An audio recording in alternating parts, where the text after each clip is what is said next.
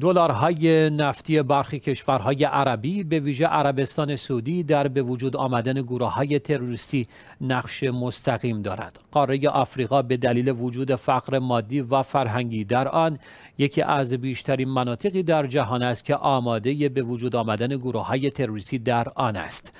همکارم علی اکبری گزارش می دهد. دیدبان الازهر مصر با انتشار گزارشی از افزایش عملیات های تروریستی در کشورهای آفریقایی در ماه سپتامبر 2022 میلادی خبر داد. این دیدبان در گزارش خود خواهان افزایش اقدام های بین المللی برای مقابله با رشد تروریسم در کشورهای آفریقایی شد.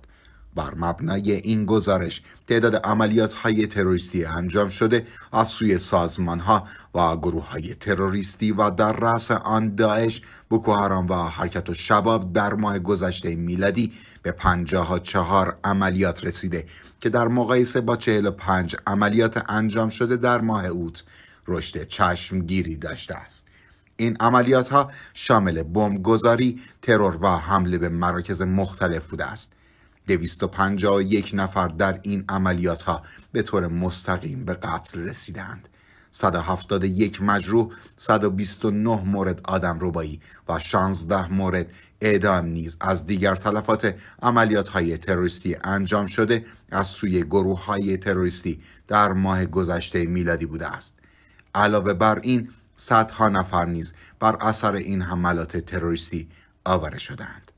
دیدبان الازهر علت عمده افزایش این حملات تروریستی را. رقابت بین القاعده و داعش برای نفوذ در آفریقا و تشدید درگیری های مسلحانه بین این گروه ها به منظور دستیابی به منابع مالی بیشتر ضعف کرده است. به گفته این دیدبان این رقابت ها منجر به درگیری آشکار میان القاعده و داعش در آفریقا خواهد شد.